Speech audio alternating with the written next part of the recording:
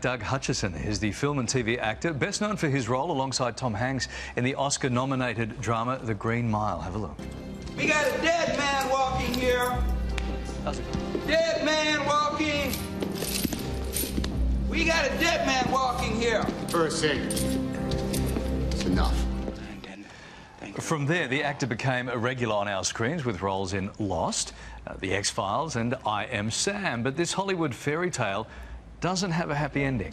In his new memoir, Doug details the rise and demise in Tinseltown, his rise and demise, giving a first hand account of working alongside A-listers like Sandra Bullock, Leonardo DiCaprio, Sean Penn, Jamie Foxx, and Samuel L. Jackson. The book also takes us inside the star's controversial marriage at age 50 to 16 year old Courtney.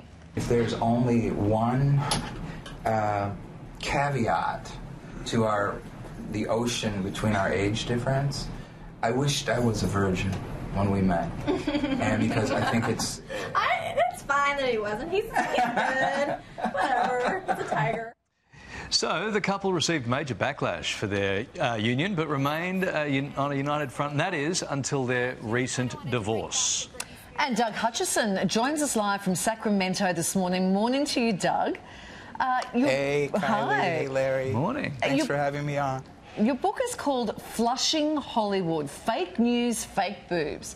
Uh, you haven't Yes. held back in this one little bit. Why was it important to tell your story?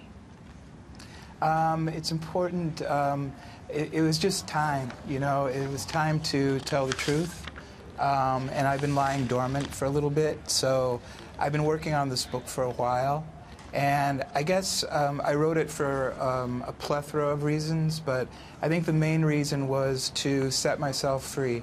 Um, because you know the old um, adage, um, "The truth shall set you free," and so I decided it's time to tell the truth, and I and so I do in my book. Okay, so there's your own truth, and then there's the truth about other people, and nothing was off limits in this memoir of yours, including an intimate chat No.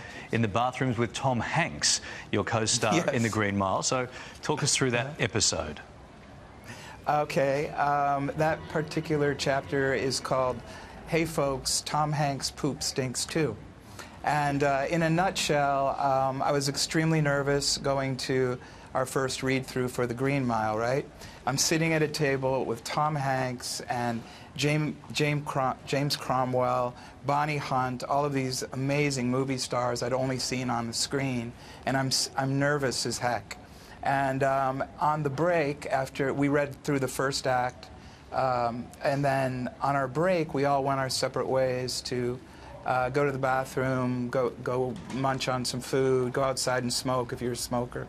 I happened to need, I needed to pee like a racehorse, so I went into the restroom, and um, as I was taking care of business at the urinal, um, this smell wafted over me, and it was really uh, uh, uh, horrific. And um, I couldn't wait to get out of the bathroom Doug, because somebody was in yeah, somebody was in the stall uh, next to me taking care of business. Um, I heard the toilet flush, and um, eventually the door opened, and out walks Tom, Tom Hanks. And as we're washing up at the sink, he turned to me and he said, um, Hey, I think you're going to make a hell of a Percy. And I said, Thanks, Tom. And he left. And I stood there looking at myself in the mirror, and I thought, well, I'll be darned. Tom Hanks' poop stinks too. And from that point on, I went out into the, the, the reading and I wasn't intimidated anymore. I thought, eh, from that point on, no more celebrities or anyone in the business intimidated me because I thought, we're all the same, all of us. We're all sitting on the same toilet seats. We're using the same toilet paper. And Yeah. uh, I don't think anybody's poop smells like roses, well, that is, uh, that is quite a way to learn a lesson. That's one, that's one take. That's, that's one chapter of your book. Right. You've been highly critical of some Hollywood heavyweights in the book. I mean, have you heard mm-hmm. from any of them? I mean, these are really big names. Are you worried about backlash? I'm not worried about backlash because I believe when you tell the truth, it is the truth. Um, so it's fearless when you tell the truth. It's very empowering. And quite frankly, my book is never, by the way, although there are some salacious stories in it, there are, it's never mean spirited. Uh, it's not a bitter book. Um, and so, because I'm not, I'm not bitter, I'm not Well, mean spirited. well, so there's a lot of Doug, Mm-hmm. you, you do take aim at several of your co-stars, Uma Thurman, Alicia Silverstone, Milla Jovovich, George Clooney, and a quote from your book, and it says, and this is your quote, these Hollywood sex symbols look like roadkill before the makeup chair. Yeah. That's not very Yeah, that nice. wasn't. Well, I don't know if it. I wouldn't qualify it as nice or not. I, if you read, if you take it out of context, it does sound like that. But what I'm trying to um, uh, convey in that section of my book is when I was on Batman and Robin, I went into the makeup room and I started looking at the before and after pictures. And I couldn't believe that all of these sex symbols, um, like Uma Thurman and George Clooney and uh, Chris O'Donnell and those people that were in the movie, I, I realized that, you know what, I wanted to let people know who maybe don't, that movie stars don't look like that. They look like us. Everybody looks the same when they get out of bed before the makeup, before the lights, before. Um, you know all of Yeah. the, the prep work. Okay. So that's what I meant by that. Oh, it wasn't a that's- personal oh, that's what you meant by actors. road. This is this is great news, Yes. Doug, because now I know that uh, my poop probably smells like Tom Hanks, and I look like George Clooney after makeup. It's this is all coming around kind of good. You, we we have to talk about your marriage to Courtney. Um, Yeah. You were 50. She was 16 at the time. We interviewed you both back in uh, Hollywood, back about Years eight ago. Years ago. yeah. There, there are a lot of people Yeah. really uncomfortable with this, but you were very, very comfortable uh, in this space, telling this story. Uh, h- how did you get together in the first place? I'm sorry, say again? How did you get together, you two?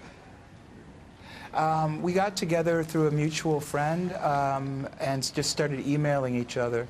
Um, and she was in Washington State, I was in Hollywood, and we just got to know each other through email. I didn't know uh, her true age until later on in the correspondence, because when I initially went to Courtney's website, and I mean, you, you met Courtney as well back then, um, I, I pegged her to be like everyone else, probably in her late 20s, uh, just the way she looked, the way she carried herself. And so when her real age was revealed to me, I, I, it was like uh, a, a nuclear bomb went off. It was like a, I couldn't believe it.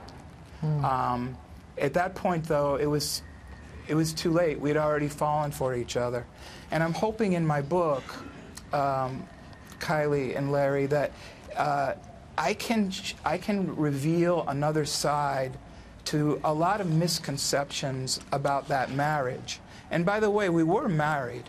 Um, um, so uh, I, I, I want to. I want to allow people, and you can make, you can come to your own conclusions after you read the book, but I want to allow people in on the details of how we got together, what we endured when we were together, and that whole trip, because it was a very unconventional um, situation. The But- book is called uh, Yeah. Flushing Hollywood, uh, full of tales like the uh, Tom Hanks one that we uh, were able to elaborate Well, we can skip that there. chapter now because we know that. Uh, the book Flushing Hollywood by Doug Hutchison is out March 10.